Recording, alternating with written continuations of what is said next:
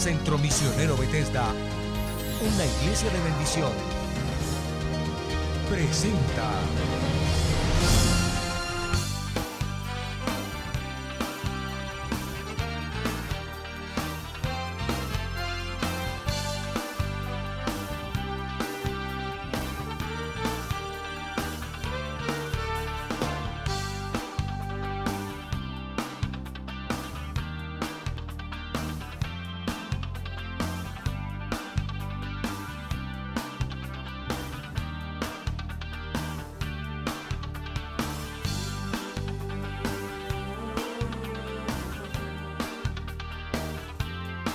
Restauración Espiritual con el pastor Rosenberg Olivares Herrera. Dios lo bendiga, mi hermano. Damos la gloria a Dios.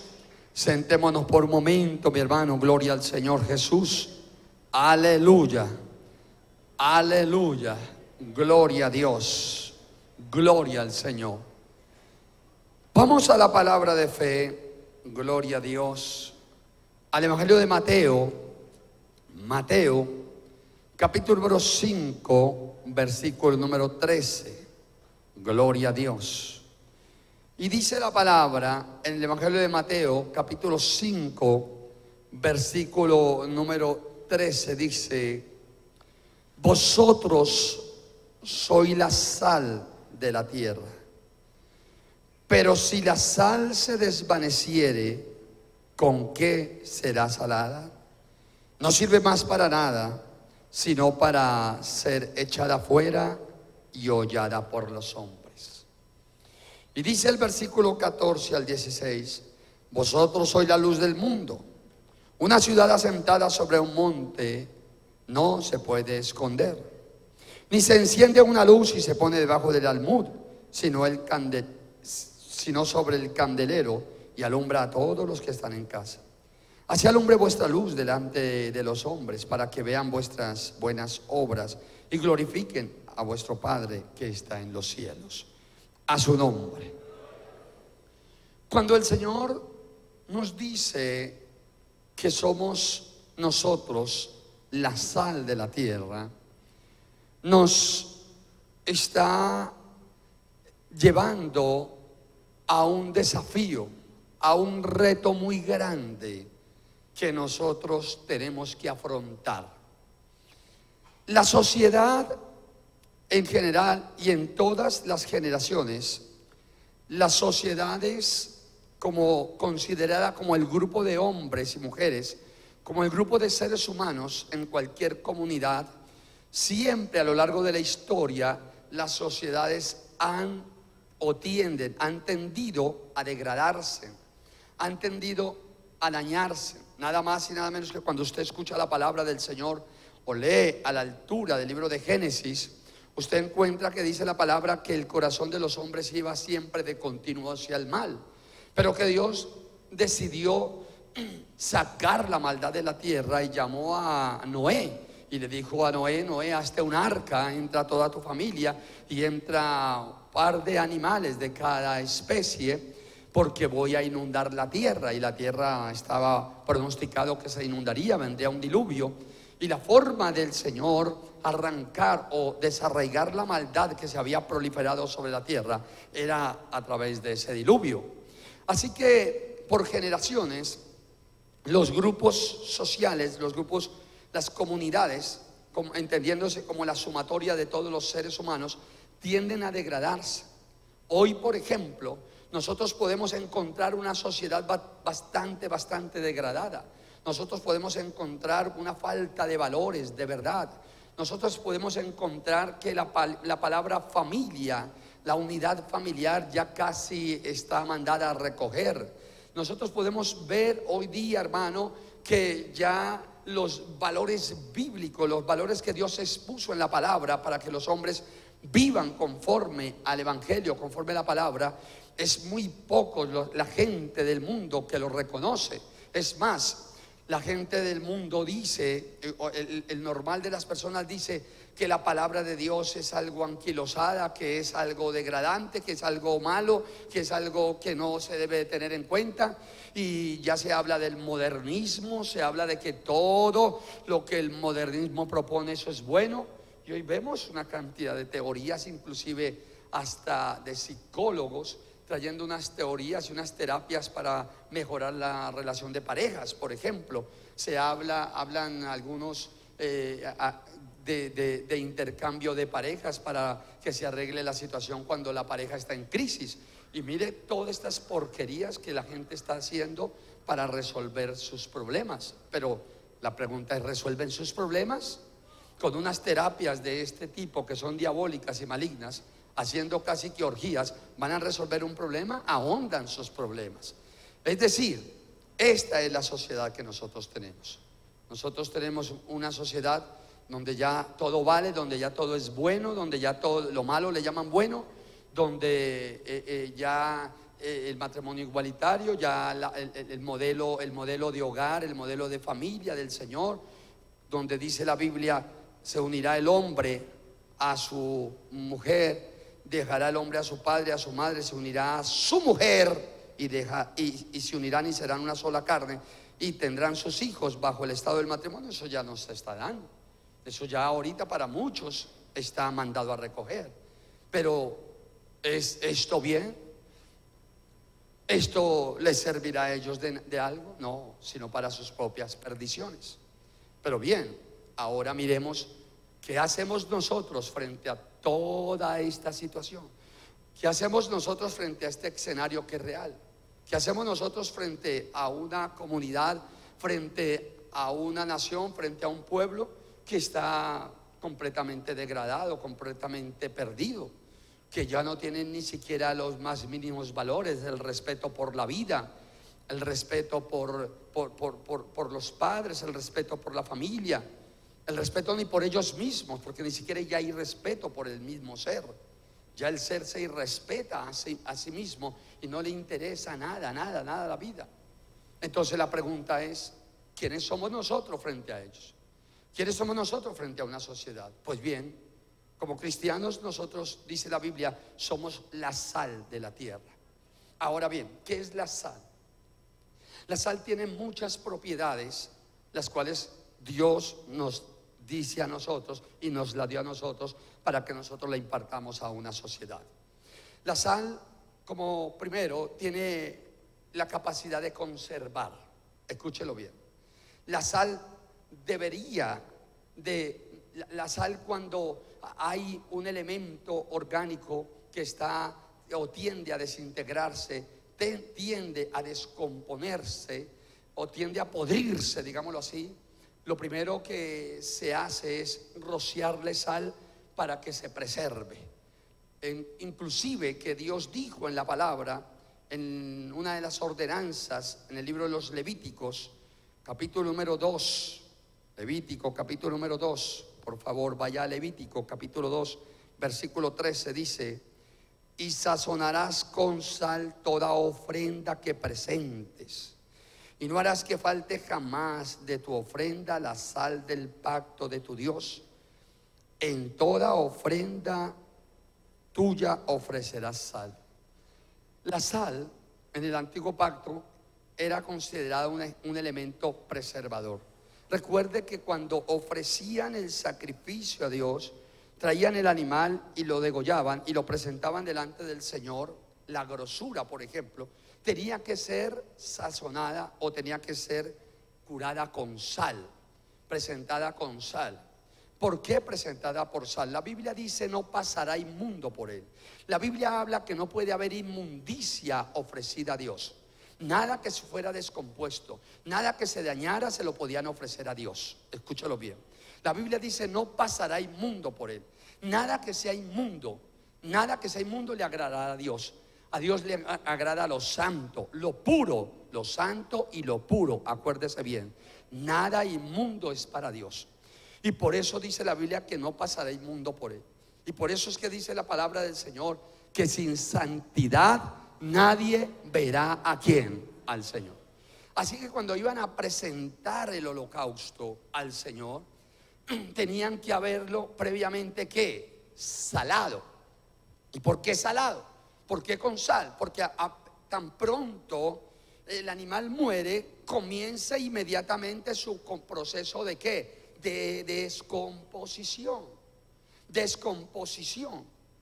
Descomposición está asociado a qué? A pudrición. Y no podía presentársele al Señor nada que hubiera comenzado un proceso de descomposición, porque eso significa impureza. Y a Dios no le agrada eso. Por eso Dios ordenaba que a esa ofrenda le pusieran qué? Sal. Ahora bien, eh, la sal pues como, como elemento preservador es para nosotros, nosotros tenemos que entender ese significado de lo que, lo que representamos para una sociedad. Hay cantidad de personas allá. Las personas son considerados seres que vivos, no muertos, no inertes. Esos seres vivos, hermano, se han descompuesto. Y se han descompuesto, ¿por qué? Se han descompuesto o se están descomponiendo, escúchalo bien, a causa de su pecado, a causa de la maldad que el hombre hace a causa de la mentira. Mire usted nada más el pecado sexual que se está moviendo en nuestra sociedad. Ya es aberrante, ya es aberrante lo que estamos viendo.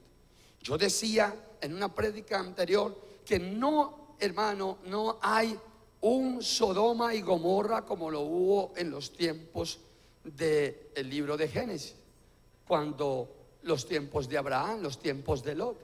Ya no hay un solo lugar. Los valles de Sodoma y Gomorra eran geográficamente ubicables, allá en un lugar especial. Pero ahorita no hay un Sodoma y Gomorra. Ahorita todo el mundo se ha convertido en qué? En Sodoma y Gomorra. La sodomía anda de plácemes por el mundo entero. Ahora bien, ¿quiénes somos nosotros frente a eso? Frente a ellos. Somos elementos conservadores. A su nombre, que conserva escúchelo bien, que no deja que se degrade más la sociedad. Nosotros debemos de entender ello. Cada que nosotros hablemos con alguien, cada que nosotros nos presentemos frente a alguien, frente a una comunidad, nosotros debemos de lo que somos. Por eso dice la palabra en el libro de Jeremías capítulo 15, dice claramente que no se conviertan ellos, dice la palabra, no te conviertas a ellos, sino que ellos se conviertan a quién? A ti, a su nombre, a su nombre. Escúchelo bien, porque es la sal la que tiene el poder de conservar. Escúchelo bien. Entonces, cuando nosotros llegamos y estamos en un ambiente, estamos en una casa, estamos en un lugar, nosotros debemos de tomar esa responsabilidad de decir, nosotros somos agentes conservadores. Nosotros no podemos dejar que esta gente se destruya o se daña más. Nosotros tenemos que regar lo que somos a su nombre. Ese elemento constitutivo que somos, la sal que va a preservar, que va a conservar estas personas a su nombre. Uno a menudo se da cuenta y dice, no, pero realmente lo que, lo que nosotros lo, lo, que la gente hace es que la gente es muy dura, es muy difícil. Yo voy, yo trato de serlo, yo trato de enseñarles, yo trato de hablarles momento. Es que no se trata de que usted vaya a poner obligatoriamente unos principios y los imponga y los tienen que hacer. No, mi amado hermano, es que el mero hecho de que usted con su manera de ser, con su manera de vivir, con su manera de actuar como cristiano que es, se presente siempre tal como es frente a los demás y los demás tendrán que entender que usted es diferente para la gloria del Señor y entonces eso hará que entre el Evangelio a ellos. A su nombre. A su nombre. A su nombre. Hay poder en Cristo Jesús. Por eso es que le quiero decir algo y entiéndalo. Nuestra familia no puede desintegrarse más. Nuestra familia tiene que conservarse, es más ahora en Cristo Jesús. A su nombre. Ahora, la palabra, la sal preserva preserva. Nosotros somos agentes preservadores. ¿De qué? De la corrupción, de donde estemos. Nosotros tenemos que entender algo. Donde nosotros estamos hay corrupción, hay maldad, hay engaño, hay mentira, hay ocultismo, hay hechicería, hay brujería, hay cosas por el estilo, hermano, que están dañando a los demás. Pero ¿qué es lo que hace la sal? Contrarresta, es toda esa corrupción. Yo tengo que entender eso. Escúchelo bien. No es la corrupción, no es nunca va a ser la corrupción mayor que lo que yo llevo en mi corazón. Lo que yo tengo en mi corazón, lo que tú tienes en tu corazón, a Cristo Jesús es mayor y mucho mayor y puede tapar, puede, puede desarraigar la corrupción que está a tu lado. Ejemplo, los jóvenes que escuchan esta enseñanza deberían de entender ello.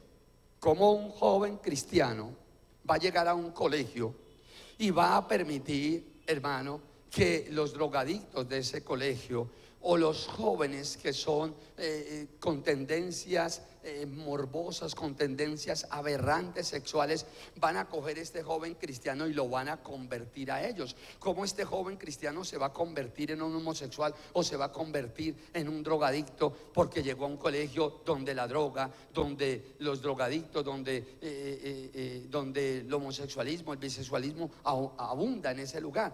O la pandillas, la violencia, la maldad. Ese joven cristiano llega allí y tiene un compromiso con Dios de orar y dar un testimonio y mostrar un testimonio de vida de tal forma que esas personas antes se convertirán al Señor porque ese joven llegó allí fue para ser un elemento de preservación a su nombre, a su nombre. Eso es lo que nosotros deberíamos de entender dentro de una sociedad. Hay poder en Cristo Jesús. Hay poder en Cristo Jesús. Así es. Pero si el joven hermano no entiende su posición, él llega a ese lugar y al otro día o a los ocho días ya está fumando marihuana y es cristiano. O a los ocho días ya atendió el consejo del amigo o el consejo de la amiga y ya está hasta teniendo prácticas lesbianas, homosexuales. Ya las está viviendo. ¿Pero por qué? Porque no ha entendido quién es. Antes al contrario, en vez de que ellos lo pudran a Él, Él tiene que transformarlos a ellos de una pudredumbre a una vida de santidad e integridad con Cristo Jesús. Ahora, ¿por qué pasa esto? ¿Por qué ocurre eso? ¿Por qué ocurre que los, muchos cristianos en un momento determinado están siendo deteriorados y están siendo, hermano, llevados hacia las corrientes de este mundo y antes, en vez de ser sal, antes se están perdiendo con los del mundo. ¿Por qué pasa esto?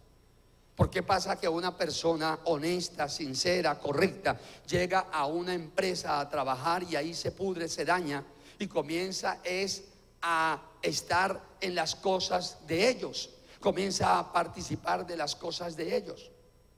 Escúchelo bien, ¿no? Que la fiesta del sábado, que es que cumpleaños Julano, que cumpleaños Sutano, que allí vamos a estar, que es que tenemos que estar. Entonces tú eres cristiano, pues no importa, tú tienes que estar. Ah, no, es que yo tengo que ir, porque es que yo tengo que eh, que me vean bien, yo no puedo que me rechacen, yo tengo que mostrarme como, como ellos. Es una forma de, de mostrar el Evangelio. No, Señor. Pero ¿por qué terminan ellos haciendo adulterio, fornicando y haciendo lo mismo que los mundanos hacen? ¿Por qué termina un cristiano siendo de esa forma? ¿Por qué, ¿Por qué, termina un cristiano más corrompido que los del mundo? Ay, hermano, muy sencillo, porque nunca se ha dado cuenta lo que es.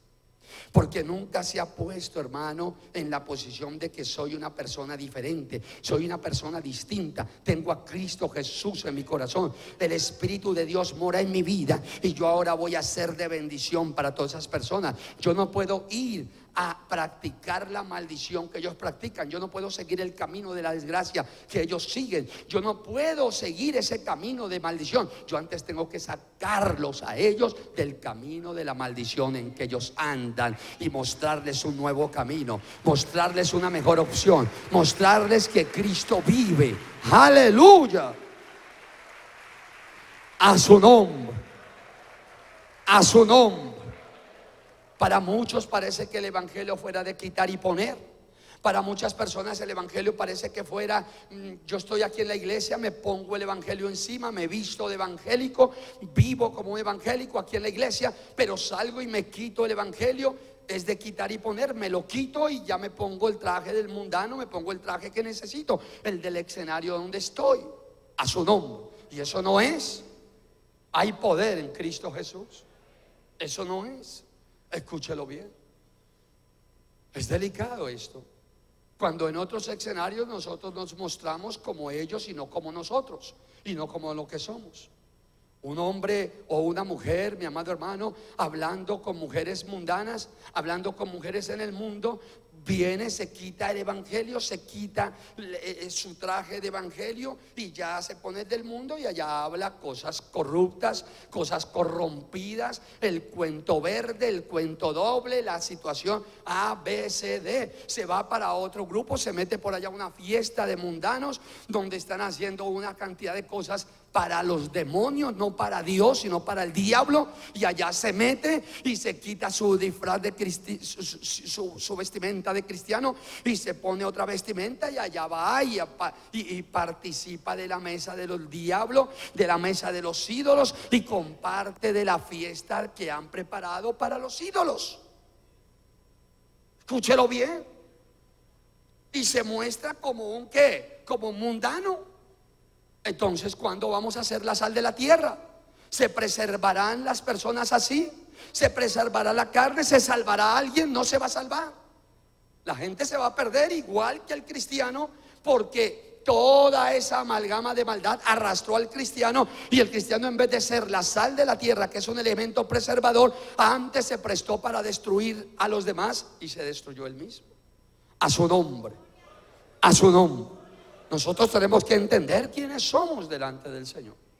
Uno de, de los grandes problemas del cristianismo hoy día es que el cristiano ha perdido su identidad. El cristiano parece que le da vergüenza pararse en un lugar y decir, hombre, esto no lo hago porque esto no es de Dios. Los cristianos deberíamos siempre de ir y poner posiciones muy claras frente a las cosas, a su nombre. No con altivez, no con soberbia sino con el amor de Cristo y mostrar los principios cristianos. Al cristiano le tienen que seguir unos principios. El cristiano tiene que estar lleno de unos principios muy claros que son los principios bíblicos, los principios cristianos. Ahora, no solamente hablarlos, sino vivirlos a su nombre. A su nombre. Y cuando yo riegue esos principios cristianos, estoy siendo la sal de la tierra. ¿Por qué? Porque una de las propiedades de la sal es que la sal se diluye. Escúchelo bien. La sal se diluye. Cuando usted echa una cucharada de sal en un vaso, la sal rápidamente, rápidamente se perdió, se diluyó. Quiere decir, se hizo parte homogénea de todo el líquido.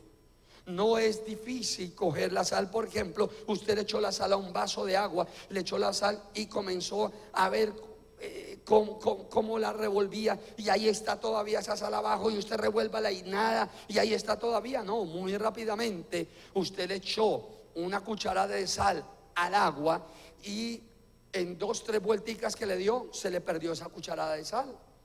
Y de pronto usted la prueba y dice, uy, está salado. ¿Qué quiere decir? Eso es la capacidad de diluirse. Esa es la capacidad de penetrar, de compenetrar con otros elementos, con otras sustancias. La sal tiene esa capacidad de diluirse donde esté. Nosotros tenemos esa capacidad de donde lleguemos, hermano, diluirnos, diluirnos en los demás, entrar al corazón de esa persona, entrar a los sentimientos de esa persona, entrar al alma de esa persona y hablarle.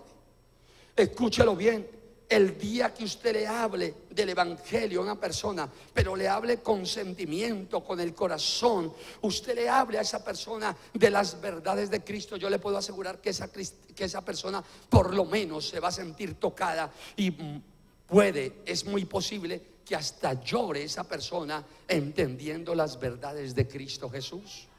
Así es. Nosotros tenemos la capacidad de diluirnos por toda una sociedad. Escúchelo bien. Pero ¿qué pasa? si yo me freno, si yo digo, no, es que sencillamente a mí me van a rechazar, a mí me van a mirar mal, a mí me van a, me, van a bloquear, a mí me van a decir que no, si es que estoy en Facebook, me van a ¿cómo se llama eso? ¿Me van a qué? A eliminar o a borrar del, Facebook, me van a borrar de tu face, qué sé yo. Entonces mejor no, yo mejor, yo, yo mejor me voy con el cuento, eh, con el cuento morboso, yo mejor, eh, yo mejor digo que me gustó esto, eh, yo mejor mm, pienso, me hago ver como el que me gustó lo que ellos hacen para sencillamente ser agradado y no me eliminen del face. A mí me parece esto horrible. ¿Qué clase de sal somos? Escúchelo bien. La sal de la tierra se diluye. Vosotros sois la sal de la tierra. Usted tiene que estar haciendo presencia siempre en el corazón de los demás. Que cuando usted hable con alguien, deje una huella, deje una marca en el corazón de esa persona, a su nombre. Que esa persona diga, hombre, este, este varón o esta mujer son personas diferentes, me vinieron a hablar cosas distintas. Hay algo que hay en ellos, a su nombre, a su nombre. Somos distintos porque somos la sal de esta tierra. Alaba al Señor que Él vive. Aleluya.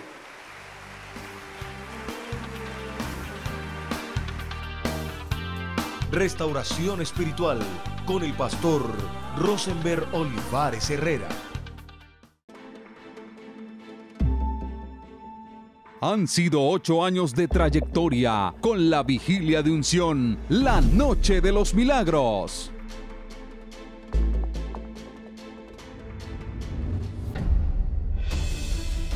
Un crecimiento, una identidad, un pueblo lleno de la presencia de Dios, experimentando a mayor nivel la gloria de Dios. 13 de junio del 2008.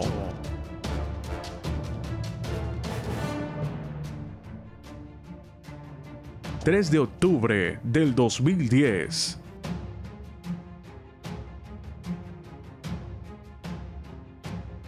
6 de noviembre del 2011.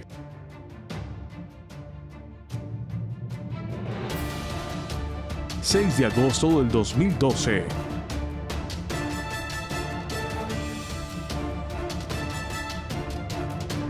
...12 de mayo del 2013...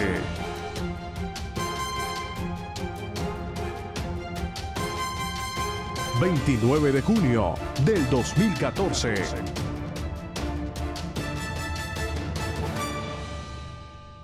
Pero en el 2016, mayor aumento de la gloria, la presencia, el poder de Dios en un pueblo sediento de su presencia. Una noche sobrenatural, una noche de fiesta, una noche de fiesta en el Señor. Prepárate, llega la vigilia de unción, la noche de los milagros, domingo 3 de julio a partir de las 9 de la noche la cita es en el Estadio Olímpico Pascual Guerrero, en la ciudad de Cali. Es una invitación interdenominacional para todo el pueblo de Cristo en la ciudad de Cali, suroccidente colombiano y el mundo entero. Y organizado por el Centro Misionero Bethesda, La Floresta en Cali y sus pastores Rosenberg y Diana Bedoya de Olivares. Estadio Olímpico Pascual Guerrero. Nos daremos cita más de 38 mil personas de diferentes denominaciones de Colombia y del mundo entero en la gran vigilia de unción, la noche de los milagros. No te la pierdas.